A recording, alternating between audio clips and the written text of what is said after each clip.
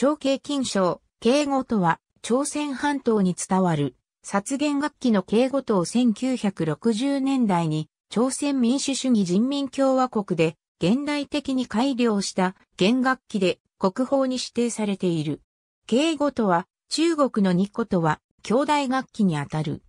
紀元前に、今の中国北部に住んでいた遊牧民族、慶が使用していた楽器で、東大には中国にも伝わり、朝鮮半島へは約千年前に北宋から高麗朝の中期に伝来したと言われている。チャングムの誓いのヒロインを演じるイオンエが、敬語との広報大使に任命され、注目を浴びている楽器である。